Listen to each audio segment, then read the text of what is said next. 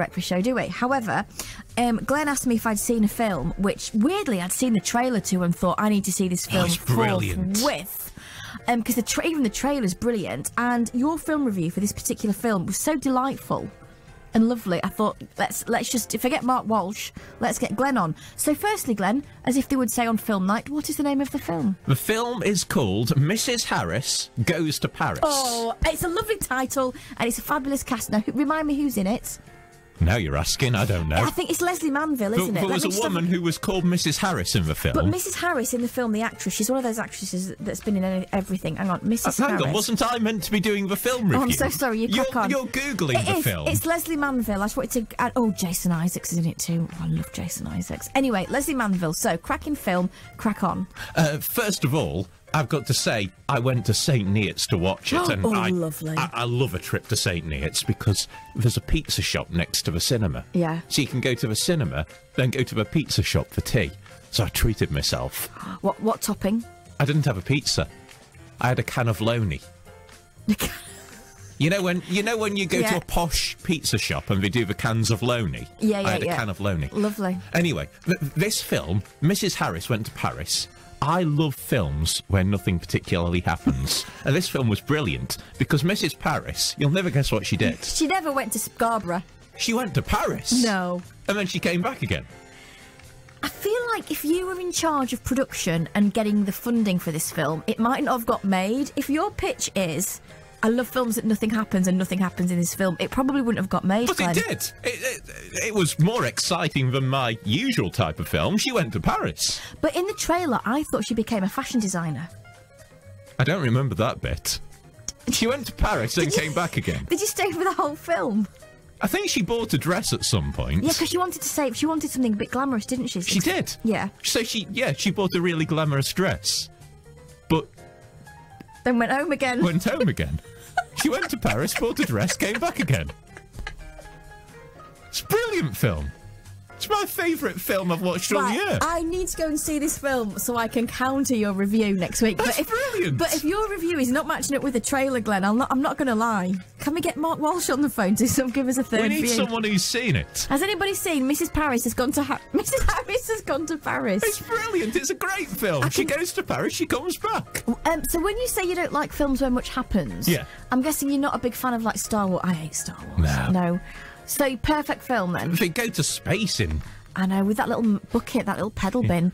Um, right. Perfect film is Yeah. music and lyrics with Hugh Grant. I love that film. Hugh That's Grant writes a film. song, the end. Yeah, writes right. So, but then, Au- but then, um, I nearly said Audrey and Bottisham because her name's on my screen. It's not Audrey and Bottisham. It's Drew Barrymore. Then he meets Drew Barrymore. She's watering his plants. She gets involved as a poet. Lovely film.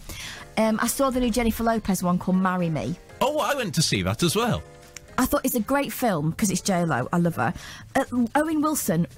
Was it Owen? Yeah, Owen Wilson. Weirdest person I've ever interviewed in my entire career. That's his. That's my claim to fame with Owen Wilson. But What's, what's that a name just dropping? it was a massive name that just dropped. However, it, it's a great story, but the it's a good job. It's a good film because the premise is so wobbly. You sort of think I've just got to go with it. Yeah, a bit too much happens. Oh, is it? Oh, it's too big a film for you. That one. You too much. I really enjoyed it, Yeah. but I thought, yeah, maybe maybe if it stopped when they got married, Yeah. because the film's Well- called "Marry Me," so we just need to get married. Yeah. The end. This end. film would have been about eight minutes long, though. Glenn. But that's saying. good. You want a happy ending. Can I suggest don't watch Top Gun Maverick because that's there's way too much I going on in wouldn't that watch that. It's got the word gun in it. Oh, true. It's more about aeroplanes than guns, to be fair. I don't like aeroplanes either. oh! I'm so glad you're not a movie producer. Has anybody, please help me, help me? Has anybody seen Mrs. Paris goes to? Ha- I've done it again. Mrs. Mrs. Harris goes to Paris. It's Oh, brilliant. She goes to Paris. She comes back again. I feel like there's more to it. Oh eight thousand eighty five ninety five ninety six. Is this a new slot? And Mia's got Film Friday. I've got Mad Film Sunday. Oh eight thousand eighty five ninety five ninety six. I won't be taking text and WhatsApp because I don't know how we can do that about a film. Uh, so give us a buzz. Oh eight thousand eighty five ninety five ninety six. Don't think the film show is going to be giving us a ring to take over, are they, Glenn? If you're just joining us, Glenn went to see a film uh, this weekend in St Neots called Mrs. Harris Went to Paris, and I've seen the trailer, and and uh, Glenn's seen the film, and I don't think the trailer matches the film that he's told me about. Luckily, we've got an adjudicator, Kathy in Dogsthorpe. Morning, Kathy. How are you, my love? I'm fine. How are you? I'm all right. I'm all right. I think you're hungry. I'm hungry, and I couldn't. I didn't get to sleep till one o'clock, Kathy, and then I was. Oh, bless you. I was up at four, so I'm a bit. I'm all right. Glenn's kept me going in coffee this morning, and I get to chat to you and everyone, so it's nice. Oh well, that's a consolation prize, I think. Exactly. Now tell me, have you been to see Mrs. Harris Goes to Paris? no, I haven't seen it, but I've seen the trailer. Right, it- I have too. It starts off. She's talking to this this person, this man, and he says that you're entitled you're entitled to some war pension. Oh, And then the next thing, she's talking to her friend, and she's got this fancy dress in her hand. So I think she got uh, a lot of back pay or something, and uh, that's why she went to Paris. okay. Glenn, is this ringing true to you? It says it rings. Did you sleep through the film, Glenn? So the way I understand it, Let's Kathy. go to sleep through it. He must have done it. It doesn't make sense, does it, Kathy? Because we've seen No, the trailer, no.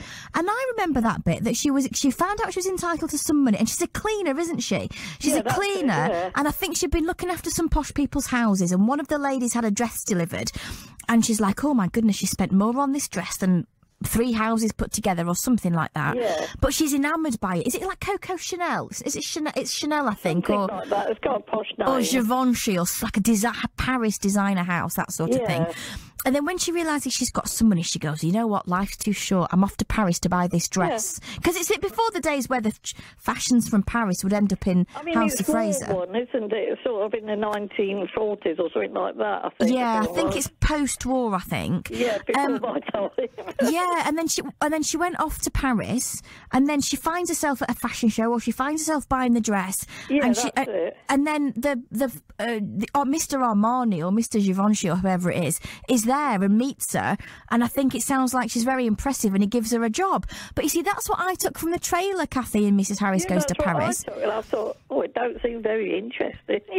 Oh, Kathy, I beg to differ. I saw that trailer and thought I need to go immediately. So I'm not. Sh- y- Well, it sounds I like don't like things about the 1940s and about war and things like that, you know. So I sort of. Uh, Oh, I thought it was about a dress going to Paris. well, you see, now. I'm so I mean, you confused. just get a little glimpse, and I think, oh, you know. Kathy, you've confused me more, love. I'd seen the trailer. Glenn saw the film. That didn't match up. I've seen the trailer and you've seen the trailer, and that doesn't match up at all either. So I don't know if I'm now just confused with what trailer I've seen. Shall we both go there together? Let's let's do it. Let's have a date, Kathy. You and me. We'll go and see Mrs. Paris goes to Harris. I've done it again. Mrs. Harris goes to Paris. Now listen. because Glenn did it. He said Mr. Mrs. Paris went to Paris. Exactly. I'm going to blame it on Glenn. Thank you very much, Kathy. That's what producers are for. And I now genuinely think I'm having a fever dream. So, if you're just joining us, Glenn went to see a film called Mrs. Harris Goes to Paris. I was excited because I'd seen the trailer for Mrs. Harris Goes to Paris and thought it looked wonderful. Glenn gave it a lovely review. He said films where nothing much happens are wonderful. So I said, Come on, Glenn, let's share your review of Mrs. Harris Goes to Paris. And he shared his review, and it was nothing like the trailer. So I was confused. And then Kathy came on. She said she'd seen the trailer, but it didn't seem like the trailer that I'd seen. And now Trish has been on. Yeah. This, this is this all makes perfect sense. Glenn, is this a moment It was a great film. She went to Paris and she came back again. Glenn, you know I was telling you earlier that I'd fallen asleep Yeah. and saw a message from my friend John, but forgot I was asleep, so thought I dreamt it, and then it turned out it was real. Is this the opposite? Am I now asleep because nothing's making sense? I actually feel like I am in a foggy dream. Well, you remember we were looking for coincidences, coinky dinkies. yeah, Trish has just come up with a great one. but I thought she was talking about Mrs. Harris went to Paris. She is.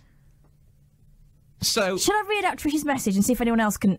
in Mrs. Harris Goes to Paris, Yeah, we establish that she buys a dress and comes back again. yeah, Trish was on a train. You know, Trish was on holiday recently yeah. in Norfolk. She was when she went to Felbridge on the train. Trish tells us there was a woman there in a French coat. Yeah, there was. Sort of a French fancy French coat. I think she said it was an Astrazat. What, what's a Vauxhall Astravan? Astrakhan. Astrakhan. Hang on. How did Trish know that this woman's coat was French? Did she go and say, "Oh, bonjour"? Uh, she said to this woman, "Oh, I love your coat. Is that Oh. an, is that a Vauxhall Astravan?" Right. And she said, "Yeah." It, what what was what was it called again? Astrakhan. is is that Astrakhan? Is that a real coat? Hang on. And she said, look. "Yes, it, it is Astrakhan." And she said, "It's it's French." And she showed, but she says it's a coincidence or a coinky dinky that we were talking about Mrs. Harris going to Paris and buying a dress when she had gone and met the woman who was wearing a French coat. I am so confused. An Astrakhan isn't even a coat; it's a place. Oh no, wait, it's a coat. If you spell it the correct way, it's a coat. Oh, fancy coat as well. Very. She says Kathy would know what an Astrakhan would be. Kathy's off to church. She is. We don't want to bother Kathy again, do we? So basically, are we still no further forward that nobody has seen apart from you? Mrs. Harris has gone to Paris. Me and Kathy have seen the advert, and we don't agree on the plot. You don't agree on the plot, and Trish saw someone in a French coat on a train. Yeah. it makes perfect sense, Louise. I am definitely asleep. There's no way this I don't day. know why you're confused. There's no way this day is real. If you can help me, please do. I think I'm losing my mind. Oh eight thousand eighty five ninety five ninety six. If you have seen, and why am I even saying if you've seen? Why you don't even need to have seen it? Why not? No one else has. If you want to talk about Mrs. Harris goes to Paris and make sure it relates in no way to the film, that would be great. Oh eight thousand eighty five ninety five ninety six. I'm off for a sit down. If I'm sounding a bit funny, it's because what I think they say in showbiz, I've just corpsed. Absolutely, completely. Glad you're gonna have to come in. Right, so basically, Sid Salmon's been on. And he says, Louise, how do you do film reviews? You, you can't reach the counter. What what counter do I need to be able to, To, to pay for your ticket, this isn't this isn't Sid for Salmon. This is Sid's wife. oh, hang on a minute. Mrs. Salmon's Mrs. getting in on it. Yeah. Oh, that's just cruel. She says you're going to have to take an adult to pay for your tickets and buy the ice creams. Well, if they're going to pay for the ticket price, I'll be well up for that. Um, this is uh, this has been the weirdest thirty minutes of my life. Kathy's on my side, though. Kathy's on your side Yeah. about about Mrs. Harris has gone to Paris. Uh, well, no, she wasn't on my side with Mrs. But but she agrees with me that an Astravan is a car. I thought we were talking about coats. What's going on? What was the coat that Trish talked about? so I think we've established that Trish's coat was an Astra Can. can, but an Astravan It's definitely It's a car. definitely a car. Not a coat that you might bump into on a. Thordis is coming up next. We need to ask her to make up what she thinks happens in Mrs. Harris Goes to Paris. Can Thordis start early? I'm not going to get through the next 16 minutes. Are we talking about films, coats, or cars? I don't know what's happening. All of the above. I am convinced now that Trish, Kathy, and you have just got together. That's because me, Trish, and Kathy are best mates. And you've just combined together last night. You're all at home watching Strictly, messaging each other, going, How can we make Louise really confused tomorrow? We'll start talking about a film, and then we'll bring in Astravans, and then we'll throw in a coat that nobody's heard of on top. Oh, you like your phones are ringing. It's complaints. see what it is. Glenn, stop laughing. It's complaints. Right, we need to get. We need Thordis to start a show early. Where is she? Thordis, where are you? Oh no, she's not there. She can't hear me. That means I've got to keep going for 16 more minutes. And we've got some brilliant music to squeeze in though. Starship, CeeLo Green. I also want to make sure that if you have seen Mrs. Harris Goes to Paris, can one person who's seen it please get in touch? I need to put this to bed before I lose my mind. Uh, Jim in Willingham is with us. Jim, good morning. Good morning, Louise. Happy Sunday to you. Happy Sunday. Now, I don't, I've not heard from my dad this morning, but I'm pretty confident that if he's with us, he'll be sending his love, Jim. Bless him. I love to him too. Bless Thank him. you. Now, please, for the love of all things good, tell me you have seen Mrs. Harris Goes to Paris before I burst into tears. I have. Oh, thank I- I'll- goodness. I'll clear the whole thing up for you now. Right, great. The whole conversation is not about coats, not about Astravans. Or anything else, right? It's it's it's actually it's a very similar sounding word to coat. It's COVID. And the Astravan thing is actually the AstraZeneca jab. So it's all about Mrs. Harris catches COVID and has the AstraZeneca jab in Paris. Jim, I am gonna just. Com- I totally Sorry. believed that you'd seen the film. Are you kidding No. me? yes. Have you I've not been s- out the house for a week. oh, bless you. Jim, you are- Sunday. You are on the naughty step. Glenn, did you know he was winding me up? Glenn knew. Glenn's in on it. Glenn, knew. Yeah. Your homework is to now get yourself to the cinema and watch this Oh, film, and I want a proper review from you on Friday. All right, I'll do it. I'll go this week then, I promise. Uh, you are you are so on the naughty step. I thought I was going to get this sorted. Mrs. Jim has just told me I've got to do the ironing all morning for that. Oh yeah, tell Mrs. Jim I am well with it. You can do mine as well whilst you're at it. Oh, crikey. I've, honestly, I think I've given myself a stitch, Jim. oh, bless you. Sid, Sid, have a lie down. Sid, I will in about 10 minutes. Sid got in touch earlier and he said, Oh, never mind the Sunday service, we should have a comedy hour. And I was like, Yeah, if only we could find some. right, Well, you made me smile this morning, I must say. Thank you very much to you and Oh, the team. you, you're more than welcome. I've got more questions than answers, Jim, but I'm glad you're happy. You have a lovely day. Enjoy the ironing. Thordis. I can't believe I fell for that. I, I delayed you. I delayed you for that naughty nonsense. I haven't seen it either, by the way. Brilliant. I was any- hoping it might be about the plant Paris quadrifolia, which is a woodland plant, um, but it, sadly, I don't think it is. Why not just make it up? Because nobody else seems to know what this film's about. Did you say you were hungry, by the way? I have I'm got some blueberries. Yeah, but I'm not little for blueberries, Thordis. I'm hungry for like cake or a bacon sandwich. Don't be bringing me six blueberries. These thing is, uh, people won't know this, but it's actually very hard to find radio-friendly foods because most Oh, things so you eat them and they're just stuck in your mouth. It doesn't work. Blueberries remarkably radio-friendly. So my first, again, tangents. My the first presenter that I ever worked with when I was on work experience in radio. I can't say his name because he was well famous. So my job at twenty to eleven was to go next door to the butty shop and get his fried egg sandwich. Yeah. Wow. But the problem was, well, It's not. Thought it's No. the worst job in the world. No, I mean, like, wow, being able to. Let's just be honest, none of us are starry enough that we'd be sending someone to go oh, and I get us a oh, butty no. while we I mean, were if still I, on air. If I said that to Glenn, could you imagine? He'd like, go and get it yourself. It would. Anyway, so I went and got my egg. I thought you meant it was a pre- prestigious job, not that. Okay, because it wasn't. So I went and got this fried egg sandwich, brought it back, and the rule was the first thing they said was, do not take it into him until the news headlines. Because if you take it in in the travel, he'll just eat it whilst he's talking on air. and it was like pain of death. That was like the number one rule of working on that show. It wasn't be polite to callers or don't forget to put, make sure the newsreader's there. It was don't give him his egg sandwich at eight fifty nine. um, I've gone off on so many tangents. I'm sorry. How are you gardening? I'm very good. It's been an excellent week. Uh, it's sunny. It's one of those bright, glittery mornings. Yeah. It's a beautiful autumnal day. And we are here for four hours of gardening in the great outdoors.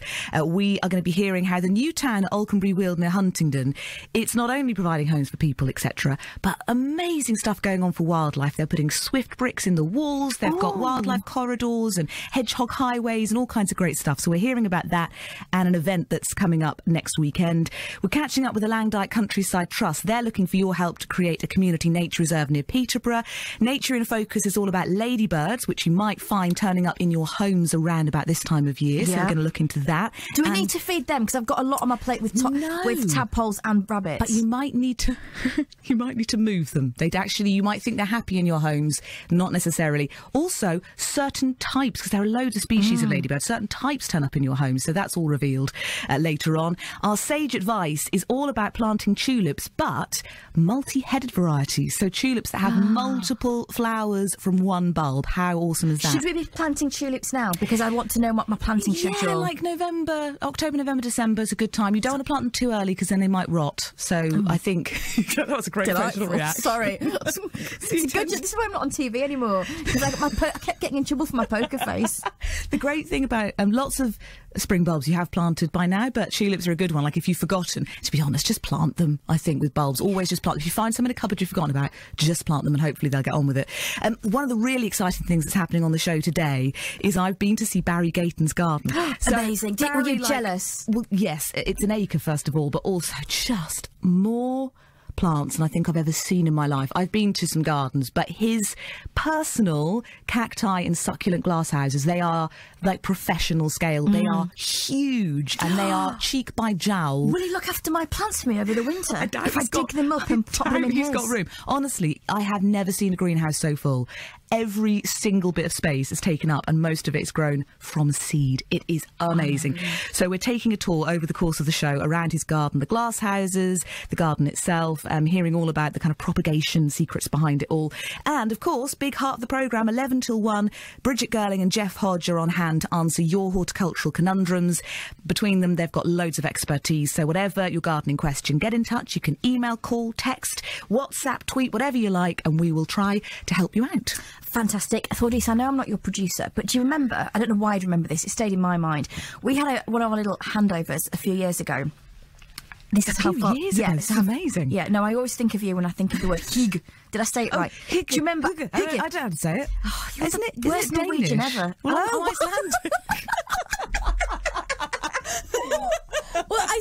to remember that I was going to be your agent and get you a BBC Two oh, show would be all good. about being cosy in autumn. Knitting and crocheting. Yes, and this was the thing and- we were talking about. So that's my plan to get you a TV show all about whether it's Danish, Ice. Are you sure you're not Norwegian? Definitely not. I really. So it's Icelandic. I'm half Icelandic, and I'm I am the worst friend ever. Oh, well, I'm the worst half Icelandic person ever. I can't speak any. I, I own one itchy jumper. Okay, so that's the new plan. That's going to be a feature going forward. You can, if I can't get your BBC Two evening show on hygge, then you can have a little slot for the for next few weeks up to Christmas on the Oh, Great sounds- Outdoors. That sounds nice, doesn't it? Okay, thank you very much. You're being so polite. Um, lovely to see you. Lovely to see I you. I always love our chats. You I always was- look slightly terrified when you leave the studio. It's Tim. great fun. Well, it's quite nice. You sit in the other room on your own, preparing for a show, and then you get to come and actually talk to a human being. It's nice. I know, tried being here since five o'clock in the morning. Well, you've got don't- Glenn. well, I think relations are strained today. I think I'm pushing my luck in terms of um, politeness. Let's put it this way. anyway, Thordis, have a lovely show. I Lovely to see you. lovely to see you too. Thank you very much. Don't, Uh, I'm not feeling too bad about you rejecting my blueberries. All the more for me. fried egg. That's all I'm saying. um, so Matt's been on. Uh, he sent us a text. He says, "Mrs. Harris goes to Paris." It's about a woman called Mrs. Harris who goes to Paris. Matt, you are no longer allowed to listen to this show. John said, "I saw the film years ago. I've got the DVD in my hand now." She does indeed go. It only came out five minutes ago. She does indeed go to Paris and comes back. The H is dropped, so it's Mrs. Arris goes to Paris. I feel I'm very confused. Oh, it's a remake. Oh well, if you said it's a remake, somebody might have seen the original. I am never going to go and see this film now because it's it's the, the conversation around this has confused me so much. I don't know how I will enjoy it. Um, it has been lovely to hang out with you this Sunday morning. I will see you Friday from six o'clock. Thordis is up next. Thanks for your company. I'll see you soon.